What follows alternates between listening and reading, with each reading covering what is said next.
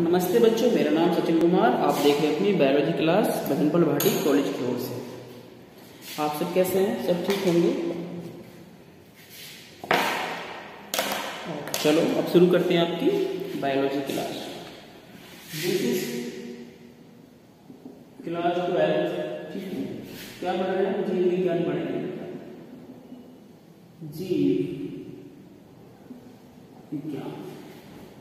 ठीक है। और इस क्लास में हमने पिछले शनिवार को आपको एक टेस्ट दिया था। उस टेस्ट का रिज़ल्ट आपका आ चुका है। चलो, आपके अंदर बेताबी भी बहुत होगी कि टेस्ट को जानने के लिए कि टेस्ट रिज़ल्ट में आखिर आया क्या है। वो बताते हैं आपको। ठीक है, सबसे पहले मैं नाम ले रहा हूँ Priyanshu Singh number one Priyanshu Singh number one पे नहीं आए हैं। मतलब इनका टेस्ट मुझे पहले मतलब बाद में मिला तो बाद से पहले की बने हुए हैं कुछ। तो इनके नंबर है five plus two two seven seven out of ten total दस नंबर का टोटल दस नंबर का था टेस्ट आपका ये तो पता है। पाँच नंबर का आपका शुक्राणु का चित्र था और पाँच नंबर का आपका वो दोनों थे शुक्र जनन और अंड जनन तो इनके कुल सात नंबर आए हैं। क्योंकि इन्होंने अंडर को प्रोसेस ही नहीं किया ढंग से। मतलब करा ही नहीं है प्रॉपरली जो सेकंड क्वेश्चन है, वो अच्छा नहीं किया है। उसके बाद में Lakshmi.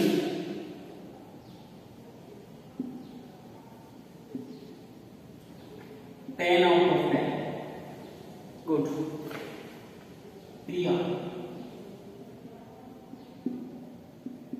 Priya Sagar तो आज भी, आज कॉलेज भी आई थी पढ़ने के लिए। इन्हें कुछ डाउट था उन्होंने पूछा भी है। आप सब भी आज आ सकते हैं बेटा कॉलेज ठीक है? वेरी गुड जो बच्चा कॉलेज आ रहा है बहुत अच्छी बात है। इनके भी टाइम देता हूँ हल्की सी कोई मिस्टेक्स हैं छोटी मोटी है कोई नेग्लिजिबल मिस्टेक्स होती हैं तो कोई दिक्कत नहीं है टेन ही है। इसके बाद में अगला नाम है शीतल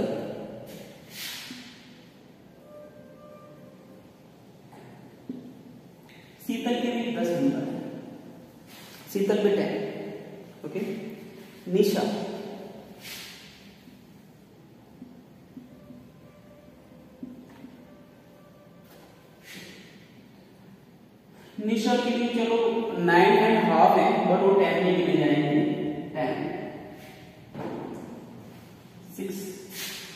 क्वेश्चन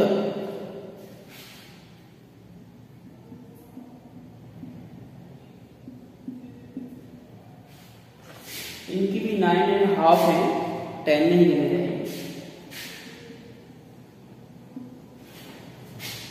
कोमल सिंह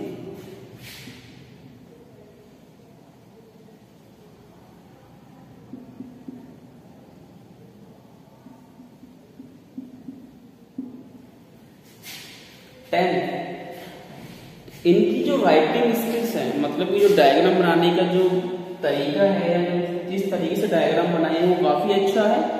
तो इनको मैं टेन प्लस वन करता हूँ इलेवन ये एक्स्ट्रा मार्क है गुड राइटिंग वेरी गुड बेटा स्टार्ट लेंगे इनको ये भी आज कॉलेज आई थी बेटी, पढ़ने के लिए। टेन प्लस वन ये कॉमन सी के लिए वेरी गुड इसके बाद में आपको सेवा।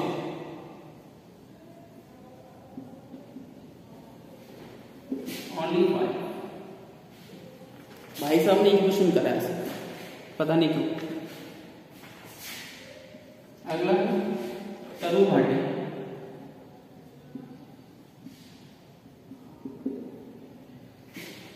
सेवन एंड हाफ़ साढ़े सात। सिर्फ़ नौ ही बच्चों ने टेस्ट दिया है। देखो, अब ये मत सोचना कि इनमें से प्रियांशु के साथ आए हैं। या शिवा के पाँच हैं, या तनु भाटी के साढ़े सात हैं, कि हम इनसे पीछे रह गए तो हमें कोई फ़ायदा नहीं होता टेस्ट देने का बट अब बहुत फ़ायदा हुआ है इवन मैं ये बता रहा हूँ कि अगर इस लिस्ट में किसी बच्चे का नाम होता और उसके मात्र एक या दो नंबर आते तो वो उनसे अच्छा है जिन्होंने टेस्ट दिया ही नहीं। मैं उस बच्चे को उन सबसे अच्छा मानता हूँ जिन्होंने टेस्ट दिया ही नहीं है। ठीक है? तो जो बच्चे इसमें टॉपर्स आए हैं वेल डन बहुत अच्छा ऐसे काम करते रहो। और जिनका कम आए हैं, वो देखेंगे कि आपने कहाँ पे गलती करी है। क्योंकि मैंने सब कुछ आपको लिखा दिया है, समझा दिया है, और आप इजीली उसे दो से चार बार देखते, आपके पास इतना टाइम था देखने का, ढंग से देखते, थोड़ा रिवाइज करते, और ईमानदारी से लिखते। तो कितना अच्छा होता। सबके दस बटे दस नंबर आने चाहिए थे कायदे में तो। लेकिन सिवा के पाँच लोगों के साथ ये जो नंबर है ना, प्रियांशु वगैरह के, ये दो तीन लोगों के हैं, ये भी नहीं होने चाहिए थे। और जिन्होंने टेस्ट दिया ही नहीं है, वो तो महाहरामी हो उनको तो मैं पकड़ के काटने वाला हूँ। कॉलेज खुलने वाले हैं आपके बहुत जल्द एक चेतावनी है आप सबके लिए। चेतावनी यही है, जो बच्चे समझ रहे हैं कि आज, इस साल भी ऐसे ही चल जाएगा कि कोरोना की लहर आने वाली है और हम यही पास हो जाएँगे। कॉपी नहीं बनाई है, मज़े ले रहे हैं, कहीं घूम रहे हैं, पढ़ाई पे कोई ध्यान नहीं है। उनके लिए साफ़ चेतावनी है। फिजिक्स पढ़ लो केमिस्ट्री पढ़ लो, वो आपकी अलग मैटर है। मुझे नहीं पता, वहाँ कैसे करोगे। लेकिन बायोलॉजी में डंडा बाज क्लियर कह रहा हूँ। बहुत पिटाई करूँगा। या तो आप बायोलॉजी पढ़ना भूल जाओगे या तो सीधे कॉमर्स में पहुँच जाओगे। अगर बायोलॉजी पढ़ोगे तो यहाँ पढ़ोगे, ढंग से पढ़ोगे या फिर कॉलेज नहीं आओगे।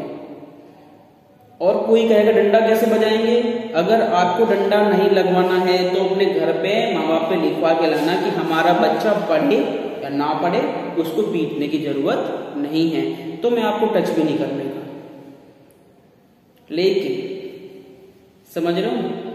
अगर माँ बाप ने लिख के नहीं दिया और आप मेरी क्लास करने आ रहे हो तो बेटा बहुत कटने वाले हो। तो ये सब चेतावनी उन बच्चों के लिए जिन्होंने टेस्ट दिया ही नहीं है और जो बहुत हल्के में ले रहे हैं क्योंकि बेटा बायोलॉजी आपका सबसे मेन स्ट्रीम का सब्जेक्ट है। आपको ट्वेल्थ के बाद में अगर कहीं पे भी आप जाओगे, आपके फिजिक्स में थोड़े बहुत कम नंबर रहेंगे, चलेगा। केमिस्ट्री में थोड़े बहुत कम नंबर रहेंगे, चलेगा। हिंदी में कम होंगे, चलेगा। इंग्लिश में कम होंगे, चलेगा। बट बायोलॉजी में कम होंगे, नहीं चलेगा। क्योंकि बायो आपका मेन सब्जेक्ट है कि नहीं? आपको बायो स्ट्रीम पकड़नी है आगे। आगे आप एमबीबीएस करो बीडीएस करो BMS BUMS B pharma BSc nursing A to Z कुछ भी करो, आपको बायो ही पकड़ना है ना मैं तो बायो में कम नंबर तो कोई मतलब ही नहीं है आपको। इसलिए इन सबको बहुत बहुत बधाई। इससे मुझे जो काम पसंद आया है गवर्नमेंट में बहुत अच्छा काम लगा है मुझे। वेरी गुड बेटा। साथ में जो लड़की जो मोस्टली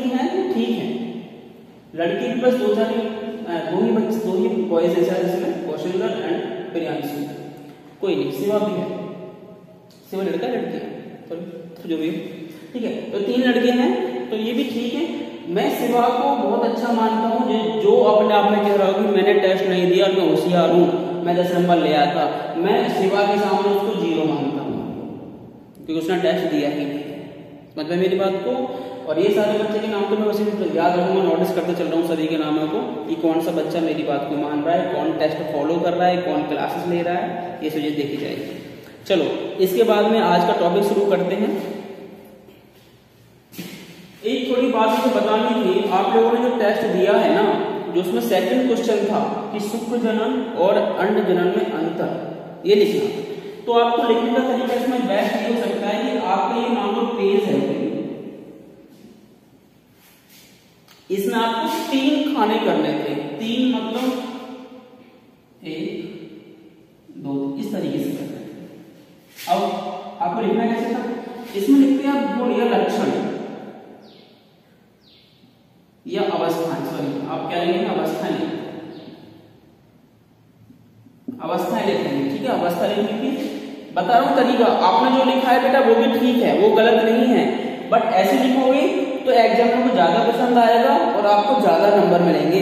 आसानी होगी नंबर मिलने में आपको अवस्थाएँ लिख लेंगे इधर लिख लेंगे आप शुक्र जन्म इधर लिख लेते अंड ठीक है जी? अवस्थाएँ कौन सी थी आपकी?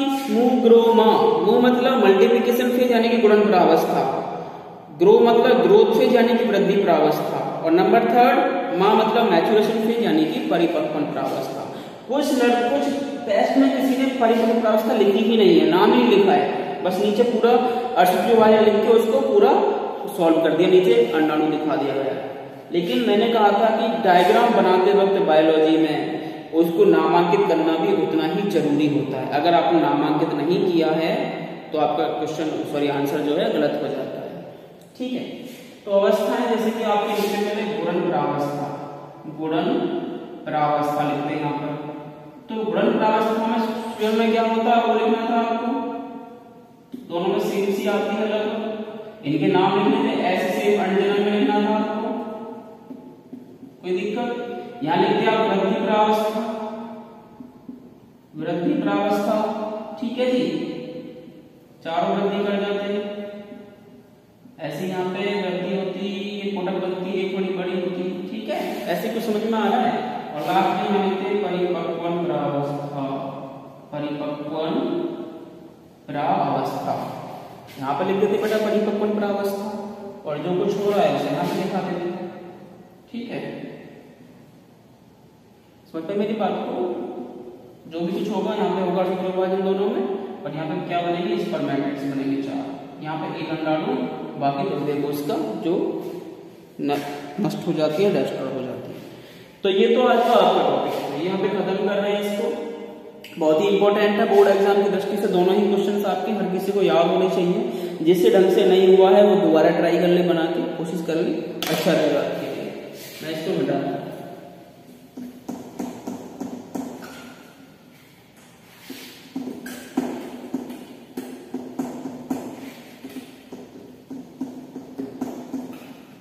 इसके आगे, नए पेज से नया डालना है आपको। इसी चैप्टर में अगर चैप्टर नया कर लो, या इसी इसी चैप्टर में आगे का जो प्रोसेस है, वो है, ये वो क्या है? मानव का भूगीय परिवर्तन। क्या है बेटा?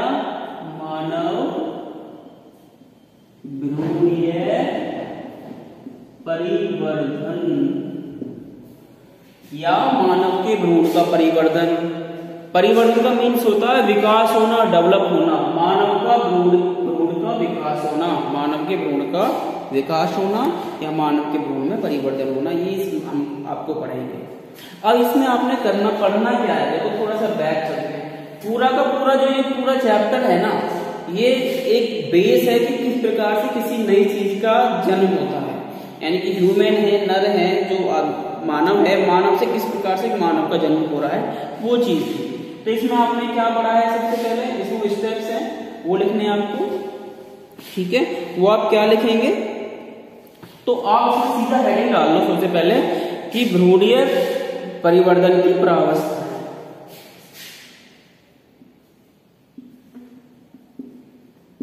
इसके नोट्स जो है, मैं आपको पिक भेज दूँगा, उसमें से बना सकते हैं आप। और जो मेन मेन चीज़ें हैं टाइम बहुत कम बचता है वीडियो में, मैं आपको बता रहा हूँ। भ्रूणीय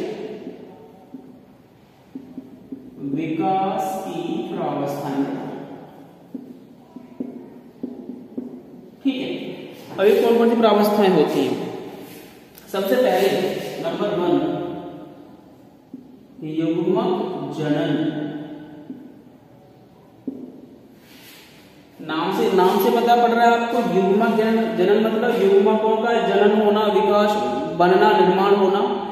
युग्मक क्या होते हैं आपको पता है? मानव युग्मक क्या है? नर का नर का नर क्या होता है? शुक्राणु होता है। और वही मादा का युग्मक क्या होता है? अंडा होता है, ओवम होता है।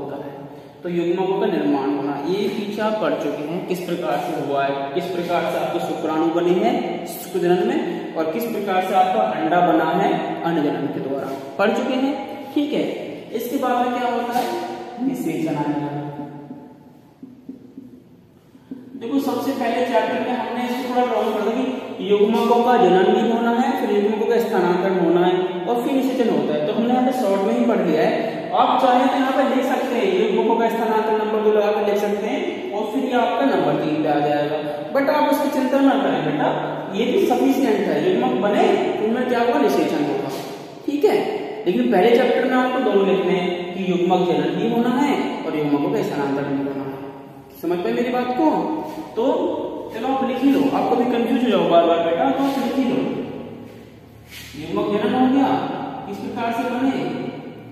युग्मकों का स्थानांतरण होता है। मतलब नर युग्मक माधव के पास कैसे जाता है? या माधव युग्मक नर, नर से कैसे मिलता है? मिलने से मिलने मिलेंगे तभी तो संलयन होगा। और जब संलयन होगा तभी निषेचन होगा। क्लियर बात?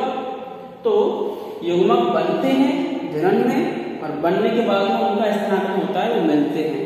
मानव में कैसे मिलते हैं? इस चैप्टर की बात करें जिसमें पढ़ रहे हैं ह्यूमन के अंदर जो मिलते हैं, वो क्या होता है? क्वाइटिस यानी कि एक मैथुन प्रक्रिया होती है, जिसे आप सेक्स बोलते हैं। उसमें क्या होता है? नर जो होता है, अपने युग्मक, जो कि शुक्राणु होते हैं, वो वीर्य में मिक्सअप होते हैं। जिस वीर्य में मिले होते हैं, उस वीर्य को कहा छोड़ देता है? मादा जो है, उसकी वैजाइना यानी कि योनि के अंदर ठीक है, वहाँ से वो अंडा से जाके मिलते हैं। तो ये क्या हो गया एक तरीके से? युग्मकों का स्थानांतरण। यानी कि जो युग्मक नर में, वृषण में बने थे, वो युग्मक कहाँ पहुँच गए? अब मादा की योनि के अंदर। ठीक है? नंबर थर्ड अब क्या हो गया?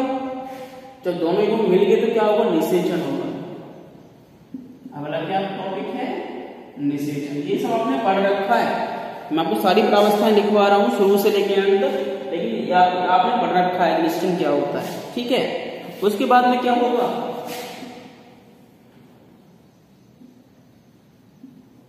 विदलन होगा। विदलन होगा भैया, निषेचन होता है तो क्या बनता है? युग मनज बनता है, नहीं बनता है? युग मनज बनेगा। और युग मनज में क्या होगा?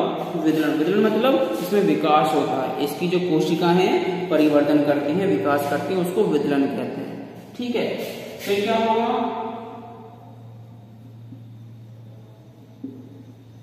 तूतक का निर्माण।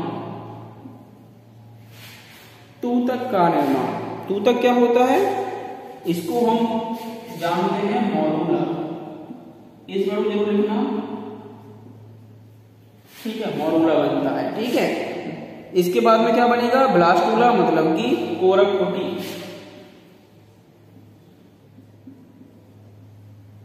कोरक कुटी का निर्माण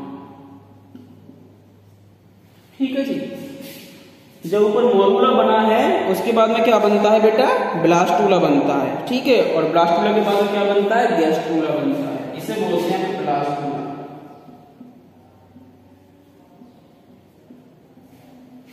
और नंबर सात में क्या है? इसे हिंदी बोलते हैं गैस्टूला भवन।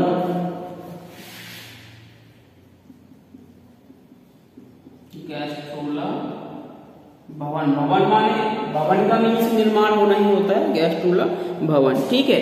और लास्ट में क्या हो जाएगा इसमें?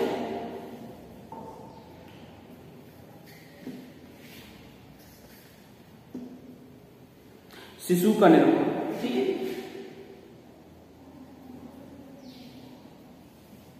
गैस्ट्रोला से शिशु का निर्माण ये टॉपिक्स हो गए ठीक है तो ये हम पढ़ेंगे, इसको मैं आपको पेज भेज रहा हूँ उसको भी लिख लेंगे, चाहे यहीं से लिख लेंगे। ये सारी चीज़ें होती हैं। अब ध्यान करो, हमने क्या क्या पढ़ लिया है ये भी पढ़ लिया है, ये भी पढ़ लिया है, ये भी पढ़ लिया है, ये पढ़ लिया समझे? ठीक है, कल बात करते हैं।